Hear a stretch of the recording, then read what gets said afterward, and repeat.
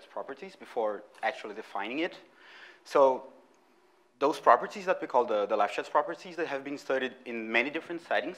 Some of them include Kähler manifolds in complex geometry, Sperner properties of posets in combinatorics, uh, some interesting tilings also in combinatorics, and even in differential geometry, people have found applications of Lefschetz properties on the Laplace equations. So when we, now we can actually define the, the properties. So the ring is always going to be a polynomial ring. Uh, the field can be any field as long as it's infinite. So we don't care about the characteristic yet, but it's an infinite field. So we take an infinite field and a monomial ideal such that uh, it looks like that. So we can always have the, the pure powers and the rest of the generators, and the quotient is Artinian. And then we say A has the weak Lefschetz property in degree, in degree i, if the multiplication map from ai to ai plus 1 by the linear form, which is the sum of the variables of the ring, has full rank. Okay? And this is not the most general definition. You can define it for essentially any ideal. And then the difference is that instead of this linear form, you need a general linear form. But for monomial ideals, we can use this one. So here we have an example. So if you have a, the polynomial ring in four variables, and the field can be, again, any infinite field, and then you take the quotient by that ideal, then A can be written as this direct sum, so the, I'm using the brackets for the generated by. And then we have these two maps, the map from A1 to A2, and the map from A2 to A3. And the way you write the maps is you simply say, okay, so which monomials in the next degree are divisible by the element I have in the basis right now? So you look at the column that has A, the one entries are exactly the monomials that divide A, and the rest are zero. And then you keep doing it for every element in the basis, and then you want to compute the rank of that matrix. So as I said, essentially what it boils down to is we want to compute the rank of a matrix, and we want it to be a full rank. And then the main idea that we're going to use is that we can think of the columns or the rows of a matrix as either exponents of monomials, and in that case we get kind of a product structure, or we can think of them as coefficients of linear forms. The second one, it's not the monomial case, but it's the more combinatorial one. And using the first one is where we get to positive characteristics. So for this talk, we'll focus on the first one, okay? And then our main goal is, well, we have exponents of monomials, then we can take the ideal, ideal generated by, the by these monomials, and then we want to be able to describe the weak Lefschetz property of uh, those algebras in terms of those ideals, okay? So to do that, we need to introduce a new polynomial ring. So we have a, our polynomial ring over K, which can be, again, any infinite field. And I is a monomial ideal such that the quotient is Artinian. And then we are going to define a new polynomial ring that depends on i, where the base field is the complex numbers, and for each non-zero monomial in the Artinian ring, we have one variable. Okay, so we have Tm, and m is the index, it, it's a monomial. So for an example, if you like square-free monomial ideals, when you take i to be just the squares of the variables, then this new polynomial ring is going to be a polynomial ring over the complex numbers where you have one variable for each square-free monomial in n variables, okay? Uh, so first let's handle the case where WLP in characteristic zero. So if we have a square-free monomial ideal of the polynomial ring and we take the quotient um, by the ideal plus the squares of the variables. Then we have an Artinian ring. This has like a very nice combinatorial structure. And because of the combinatorial structure, the matrices that we get as the multiplication maps, they have a very particular structure. And essentially, it's this proposition here. When you take the quotient by, like this, so the square-free monomial plus the squares of the variables, the row sum of the matrix is constant. So if you take any row and then you take the sum of the entries, you always get a fixed number in each degree. So here we have an example. Uh, if we take this ideal and then we take, again, this quotient by the squares and ABD, then the matrix we get when multiplying from A2 to A3 by the linear form is this. So we see that the row sum is always 3. And the row sum is always going to be kind of the, the degree you're ending up in. And then we can define an ideal from this matrix, which is the one I have here. So you take every one in the matrix, and then you go to your new polynomial ring, and then you take the product of the variables that appear with one. So here we would have TAB, TAC, TBC, which corresponds to the row ABC, and so on. You do it for every row. Uh, and from Ehrhart theory, one very nice condition that we have is that for matrix, matrices like that, where the row sum is constant, we know that, well, since we have like integer entries, we know that the analytic spread of the ideal we get by taking the exponents as monomials is exactly the rank of the matrix. And that's kind of the, the first step to realize that the weak Lefschetz property is actually very related to analytic spread. Oh, sorry. Yeah, and then as I said, like a corollary that we get from this theorem right out of the bat is that uh, when you take a square-free reduction, so a square-free monomial plus the squares of the variables in a polynomial ring, in characteristic zero, this is equivalent, like having the WLP is equivalent to some monomials ideal, monomial ideals having maximal analytic spread. Oops, yeah. So when we go to positive characteristics, the situation is a little bit different because what happens is, let's say you have a matrix like this, 1, 1, minus 1, 1, and then what happens is the theorem from Ehrhart theory that we have is that the rank of that matrix is going to be the analytic spread of some ideal.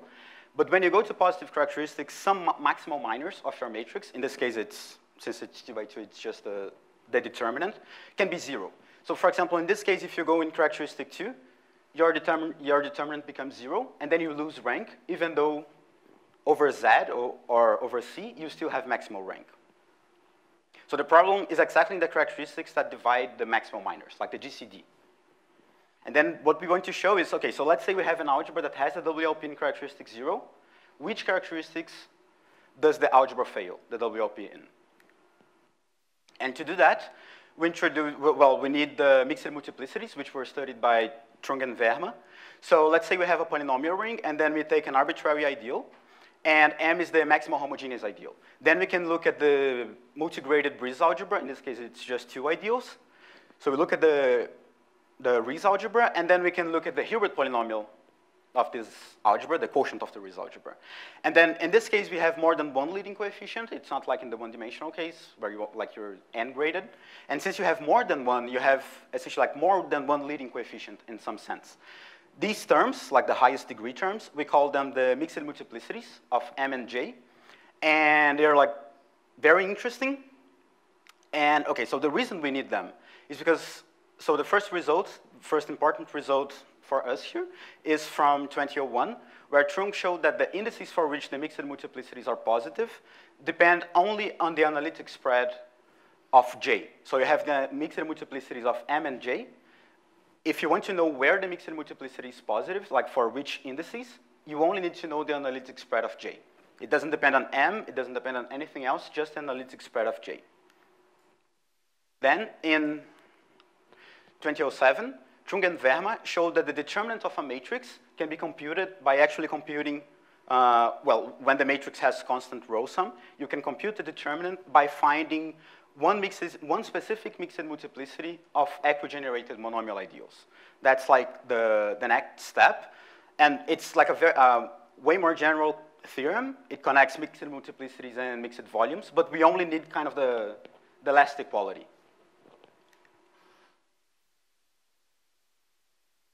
Okay, and then using these results, what we can do is we can describe the failure of the WLP in positive characteristics for square-free reduction. So again, a square-free monomial ideal plus the squares of the variables in terms of mixed multiplicities.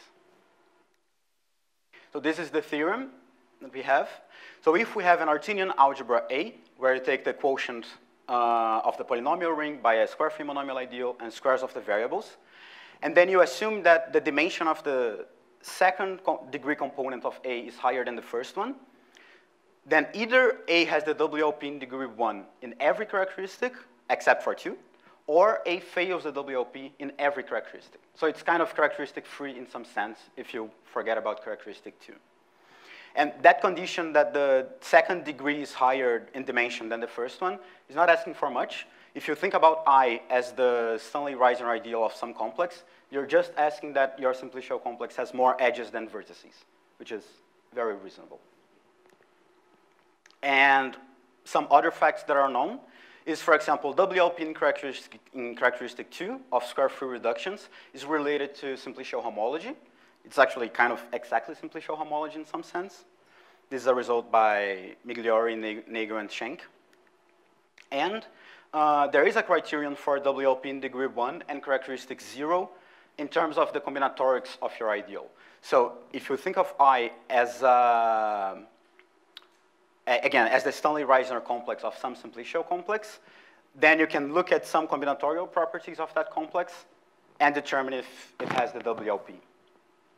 And so now by our result, we essentially know how to compute the WLP in degree one in that case for kind of any square free reduction. Now here we have an example. Um, yeah, so we have this simplicial complex, and then we can look at the ideal of the minimal non-faces of this ideal. The, the only minimal non-face of this simplicial complex is going to be ABD, because the other non-face is everything, which is contained. So we have this quotient, and then if we want to compute the WLP in degree one, we need to look at the, the rank of this matrix, the, this one here. And again, to look at what matrix you get, you just need to multiply the linear forms by the vertices because we're in degree one. These are the things we get. So we put one in the support of each equation that we have. So the first one is A, B, A, C, A, D. We put one there and zero in the rest. We fill the rest of the matrix, and then we can, we can, well, in this case, since the matrix is small, we can compute the rank. Or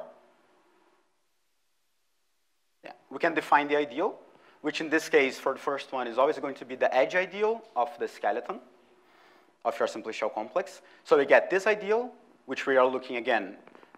We take the rows, look at the positive entries, and take the product in the other polynomial ring. And then this ideal has an analytic spread 4. So in particular, the matrix has full rank. And then you have the WLP in every degree in, in every characteristic, except for characteristic two. Yeah, and this is it. I think I have like one more minute, so I'll just mention the, the other case. So this is essentially what happens when you look at the product structure that I had at the beginning. Where is it? Yeah, so this is what happens when you look at the rows of your matrix as the exponents. When you want to look for the columns of your matrix as coefficients of linear forms, then in some sense you have a lot more structure, because then what, what you have is you have a product of linear forms, and then using the results by June Huh, where he used the, the again, the results by Trung and Verma to prove that the characteristic polynomial of a matroid or hyper, central hyperplane arrangement are log concave, then essentially what you get is that the matrix is the representation of some matroid, and then you can do lots of things with the combinatorics of matroids. So yeah, I guess that's it.